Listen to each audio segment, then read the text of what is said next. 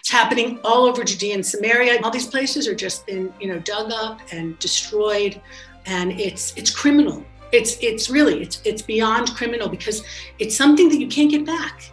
This is the heritage of so many people in the world, Jews and Christians, and I would like to think Muslims too, who understand that there's a deeper thing going on here in this country that God has, has chosen and made such a special place.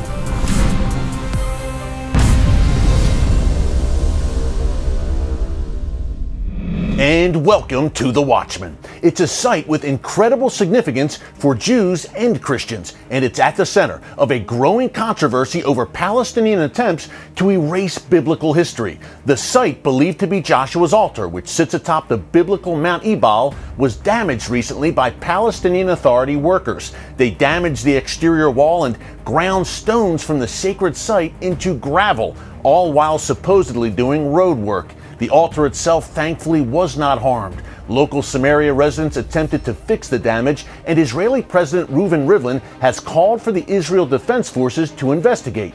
But the damage is done. The book of Joshua describes how Moses commanded the Israelites to build an altar to the Lord once they crossed the Jordan River and entered the promised land. Joshua and the ancient Israelites made sacrifices to God there, and the Ark of the Covenant and the tabernacle stood on that very spot. Now, I've been to this site, and it is a very special place. It's actually in Area B, meaning it's under Palestinian Authority control. We needed an armed escort from the Israel Defense Forces just to visit it. Take a look at this recent Watchman clip.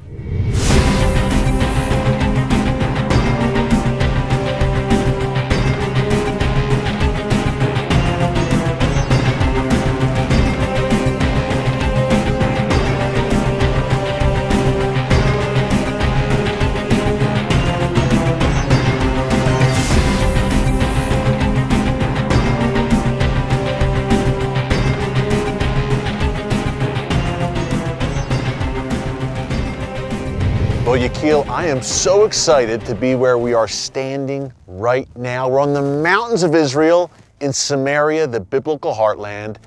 What is this structure right behind us? It's unbelievable. This is the altar of Joshua bin Nun. Here they gathered together all the tribes, the 12 tribes of Israel. Six stand on this mountain, on Gerizim mountain. The other six stood here. And, and this is Mount Ebal. This is Mount Ebal. From the Bible. From the Bible. Gerizim and Ebal. And here stood the first time of the tabernacle. They put it here. The Ark of, Coven of the Covenant also stood here. And the holy priest used to sacrifice the animals that they are allowed and pure to eat on this structure. This altar, Yakil, 3,300 years old, by the way, Joshua's altar. Joshua ben Nun, son of Nun, uh, as you said. Not only was the altar here with the sacrifices, this is sacred ground we're standing on, the Ark of the Covenant and the tabernacle, and probably a million Israelites standing all around. Yes, they used to do the ceremony that Moses commanded them just a few years before. You will cross the, the Jordan River, you will go just ahead straight to this mountain, and on Ebal mountain, you will build the altar.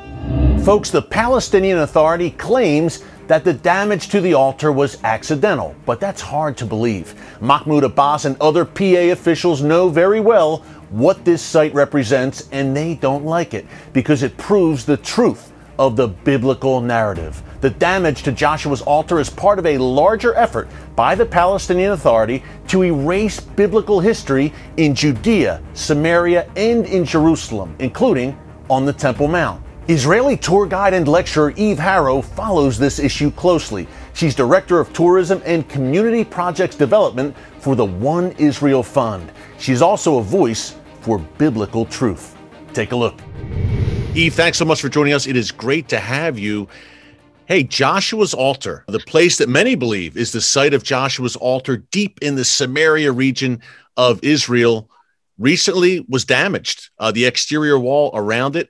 What is the latest? Obviously, a hugely significant site for all Bible believers, Christian and Jew alike. What is the latest on that incident?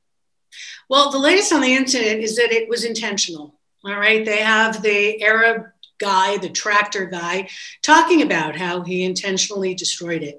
And I think what people need to realize is this is just the latest in a series of many incidents to destroy biblically sensitive sites in the land of Israel. Most people look at what's happening here as like a land issue, a territorial issue.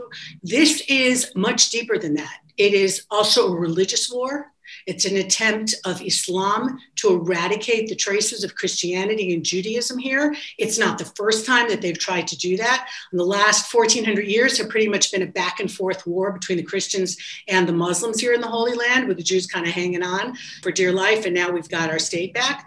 This is much deeper than it looks. It's not just destroying the wall, it's trying to erase a biblical connection to this place. And that altar, if that is Joshua's altar, and I believe that it is, I used to go there with the late Adam Zertal, the archaeologist who discovered it, phenomenal. Did not grow up in a Bible oriented house and came to believe in the book of Joshua because of what he found during his archaeological career. It has all the signs of being about 3,200 years old and just an egregious way of destroying it and taking over as much land as possible and building in places they're not supposed to build in. There's a Hasmonean fortress not far from there called uh, Arumah that they have now planted a huge Palestinian Authority flag on and filled up some of the ancient cisterns Hasmoneans 21, 2200 years ago filled up the cisterns with cement and they've declared it a heritage site. Sebastia, Shomron, which was the capital of Israel, the two states, Israel and Judah, way back when, they have now declared it a Palestinian heritage site, heritage site with the help of the Belgians. They're not doing this alone. And that's something that's very important to keep in mind. This is not a coincidence. These are not accidents. This is a premeditated campaign by the Palestinian Authority, which extends even to the Temple Mount in Jerusalem. Could you tell us more about how they're trying to cover up the biblical history in Jerusalem, of all places? Right. So we've got aerial photos that are showing the massive changes on the Temple Mount from year to year, where they have dug a mosque out in parts of what were the temple. We know from people who were down there before that you've got beautiful corridors passageways and, and all kinds of designs from Herod, who redid the temple again over 2,000 years ago. So they are doing whatever they can. They have thrown out hundreds of truckloads of dirt, which of course isn't dirt. The Temple Mount should be dug with a Q tip and toothpicks. That is how sensitive a site it is. And instead, they're just throwing things out by the truckload. And of course, got the sifting dig, which has been going on for years, trying to unearth through that rubble and, and try and find significant things. So the Temple Mount is maybe the most nefarious of what they're doing. But here I really have to put a word of criticism into my own government because when you are sovereign, you have to stop this. If you allow people to do these kinds of things, it shows that you're not really in control. I was just out at Tel Tekoa. Some of you might be really into the Bible might have heard of Tekoa, the wise women of Tekoa. It's where the prophet Amos comes from.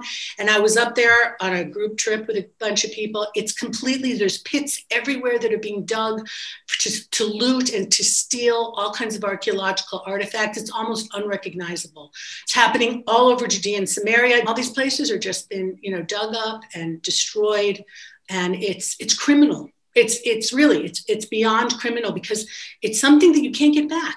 This is the heritage of so many people in the world, Jews and Christians, and I would like to think Muslims too, who understand that there's a deeper thing going on here in this country that God has, has chosen and made such a special place. Hey everyone, thanks for checking out the Watchman Newscast. If you enjoyed this episode and want to see more, make sure you go ahead and hit the like button, click subscribe, and tap the bell icon to turn on notifications for new Watchman Newscast episodes every weekday.